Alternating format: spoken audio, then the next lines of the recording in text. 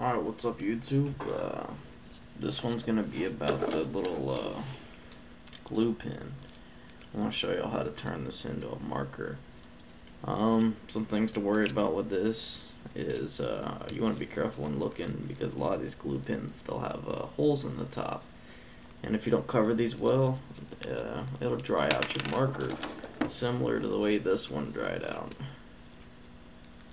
which now it's uh, rock hard nib isn't that funny yeah it's pretty disgusting so you want to be careful about that and not do something stupid like me um, this one, it's got a reverse screw off lid. I have no clue why, but it's really not that hard to figure out. Take all that off. Don't do that. And uh, pretty much you just want to squeeze out all that glue.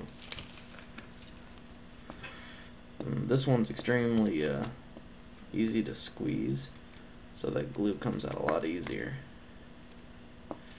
But you gotta be careful because the easier to squeeze, normally the easier to break the bottle.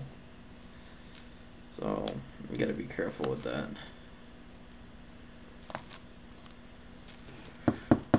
You can wash it out, but it really doesn't matter too much. If you squeeze it out good, you shouldn't have to worry. I mean, it doesn't matter if you get a little bit in there. Uh, so there you go. It looks pretty empty for the most part. I won't worry about the rest of it. It should just come squeezing out with the paint or whatever I put in it. Um, and then after that, you want to cut open some uh, sock or tissue, not tissue, uh, wash rag or some shit like that. Now, because this has got a very small top, which you can probably cut off if you truly want to you gotta be careful because you're gonna have to make this tube sock or whatever you're using a lot smaller than what you're normally used to doing.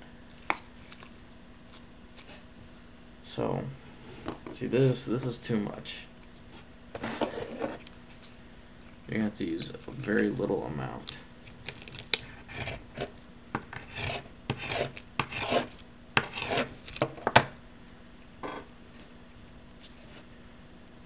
Get the fuck off me. Thank you. And you just want to kind of roll it up. Just like you normally do. And say it's still too much. Which is ridiculous. That's a very small amount.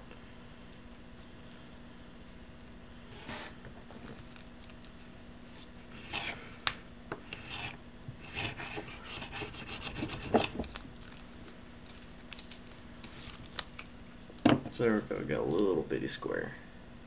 Very tiny. And we're gonna roll this up. Kinda like a never mind. And then you're gonna fold it, kinda get that calligraphy style. And you just wanna make sure it fits right now. See that's not gonna fit. See I might actually have to cut this off.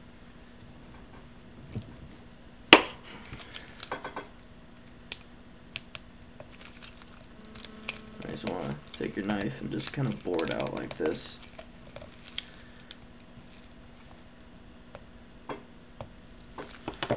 There we go. Take the same amount. This would be a lot easier if I didn't have gloves on. And then, because this is a smaller hole to get it into, you might have to use your knife or whatever you're using just to simply take it and push it in with the knife on all the corners and edges. And that should tuck it in pretty well.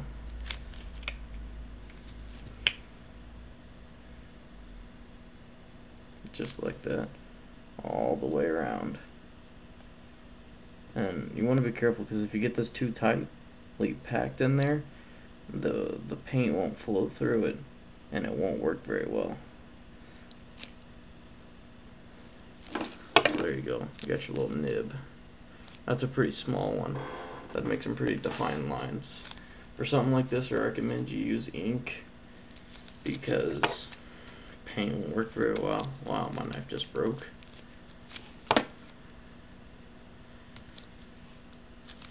And to get this off, do all that.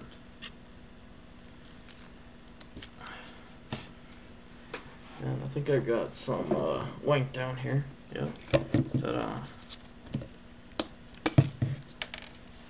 And before testing out, before you fill up a marker completely and just get it all over the place like I did, you don't want to really fill it up all the way and get it all over the place like I just did.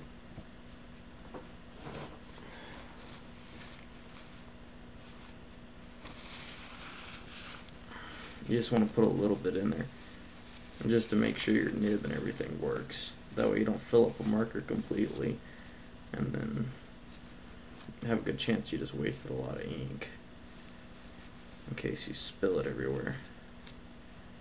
Kind of like what I did.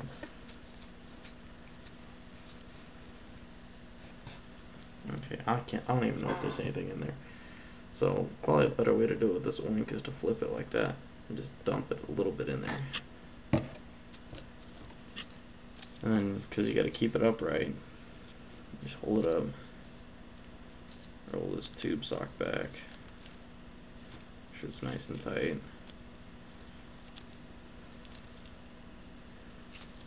Tuck it in there, do the same thing.